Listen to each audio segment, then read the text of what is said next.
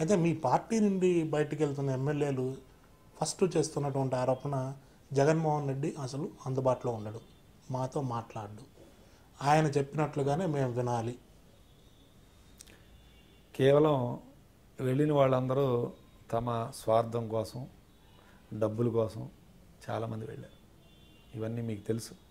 చెప్పాల్సిన అవసరం. వెళ్ళేటప్పుడు ఏదో ఒక బండ వేయాలి. మాకెట్లా తెలుస్తుంది? మాకేమో ఏదో ఒక రాయి వేయాలి. అంటే మీడియాలో వస్తున్న కథనాలు కానీ లేకపోతే పబ్లిక్గా మాట్లాడుకున్న విషయాలు కానీ అంతరంగిల దగ్గర మాట్లాడుకున్న విషయాలు కానీ చాలా తెలుస్తూ ఉంటాయి కదా మనం మాట్లాడేటప్పుడు. సో ఆ విధంగా చూస్తే చాలామంది కొంతమంది మంత్రి పదవుల కోసం కొంతమంది డబ్బుల కోసం కొంతమంది సమలాభం కోసం చాలామంది వెళ్ళారు. సో వీళ్ళందరూ వెళ్ళేటప్పుడు నెపం ఎవరి మీద పెట్టాలి? జగన్మోహన్ రెడ్డి గారి మీద పెట్టాలి ఏదో ఒక బండ వేయాలి. ఒక గుడ్డ కాల్చి దానిలో వేయాలి మా మీద. వేసే కార్యక్రమం చేస్తున్నారు. అంతేగాని జగన్మోహన్ రెడ్డి గారు అందుబాటులో లేనరే మాట అవాస్తవం. ఎప్పుడు కూడా ఆయన నేను ఎన్నోసార్లు వెళ్ళాను ఎన్నోసార్లు కలిశాను.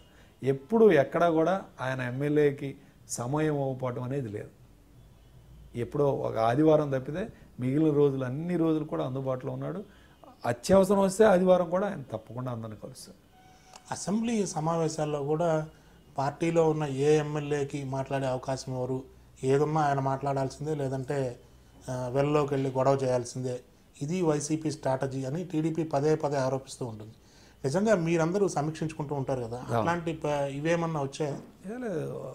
చాలామంది మాట్లాడారు తప్పకుండా. మీరు గమనిస్తే బుగ్గన రాజేంద్రనాథ్ రెడ్డి గారు చాలా మంచి లెక్చర్స్ ఇచ్చారు అసెంబ్లీలో బడ్జెట్ మీద కానీ తర్వాత కానీ తర్వాత వి- విశ్వేశ్వరరెడ్డి గారు అగ్రికల్చర్ మీద చాలా బాగా మాట్లాడారు. అట్లానే ప్రాజెక్టుల మీద గండికోట శ్రీకాంత్ రెడ్డి గారు మాట్లాడారు.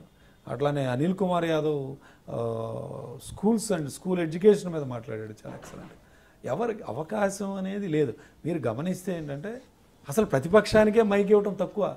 ఈ యొక్క అసెంబ్లీలో ప్రతిపక్షానికి మైక్ ఇచ్చి మాట్లాడిచ్చే విధానం ఇదే అవసరం చాలా తక్కువ ఉంటుంది. ఆ అసలు అసెంబ్లీ సెషన్స్ ఎన్ని రోజులు జరిగాయి ఒకసారి గమనించండి.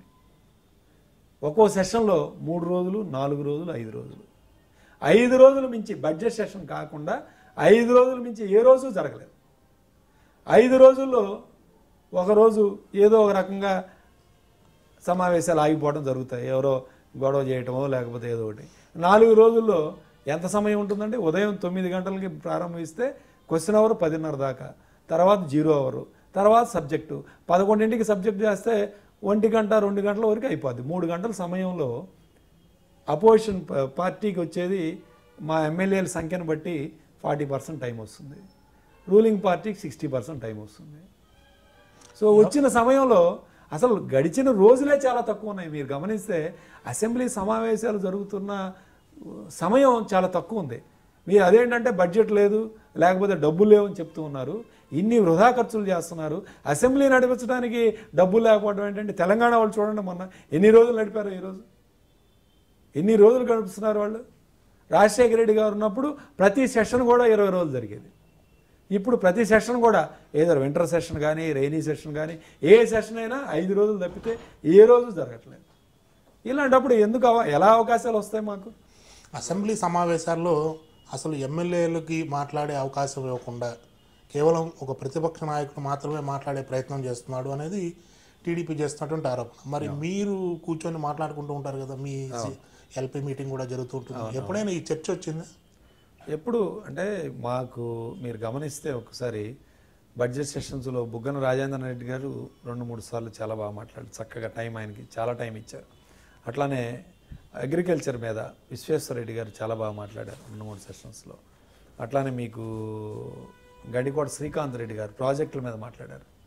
అట్లానే మన అనిల్ కుమార్ యాదవ్ గారు స్కూల్ ఎడ్యుకేషన్ మీద మాట్లాడారు. ఇలా అందరికీ అవకాశాలు ఎక్కడ కూడా తగ్గటం కానీ ఏం లేవు. కాకపోతే మీరు గమనిస్తే అసెంబ్లీ సెషన్ జరుగుతున్న తీరు గమనిస్తే చాలా తక్కువ టైం జరుగుతున్నాయి అసెంబ్లీ సెషన్స్. అంటే వింటర్ సెషన్స్ కానీ ఏ సెషన్ అయినా ఐదు రోజులు తప్పితే. బడ్జెట్ సెషన్ ఒక్కటే ఇరవై ఒక్క రోజులు జరిపారు. మిగిలిన ఏ సెషన్ కూడా ఐదు రోజులు నాలుగు రోజులు జరి మాత్రమే జరుగుతున్నాయి. అందువల్ల సమయం చాలా తక్కువ వస్తుంది. క్వశ్చన్ అవర్ స్టార్ట్ అయ్యి nine to ten thirty question hour ఉంటుంది తర్వాత జీరో అవర్ ఉంటుంది. మా సెషన్ స్టార్ట్ అయ్యేటప్పుడు పదకొండు గంటలు అవుతుంది క్వశ్చన్ అవర్ తర్వాత.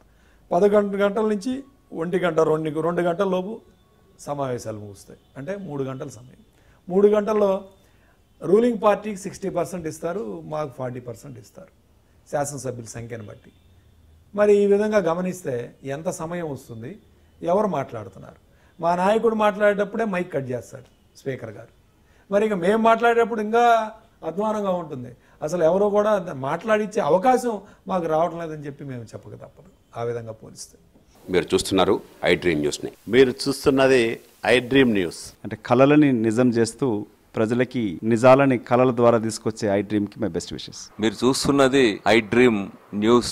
మీరు చూస్తున్నారు I dream channel. For more videos please subscribe I dream మరిన్ని వీడియోల కోసం ఐ డ్రీమ్ని సబ్స్క్రైబ్ చేయండి. Please subscribe I dream and I very much satisfied with the way interview went on kindly subscribe to I dream for more videos subscribe to I dream and loads of fun entertainment and content Do watch I Dream.